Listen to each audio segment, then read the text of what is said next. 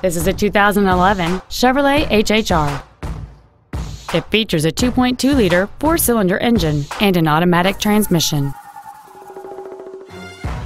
Features include XM satellite radio, a low tire pressure indicator, traction control and stability control systems, a six-speaker audio system, a security system, privacy glass, OnStar, dusk sensing headlights, cruise control, and this vehicle has fewer than 35,000 miles on the odometer.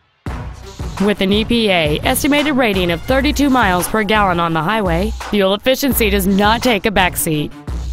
This automobile won't last long at this price. Call and arrange a test drive now. Liberty Ford is dedicated to doing everything possible to ensure that the experience you have selecting your next vehicle is as pleasant as possible.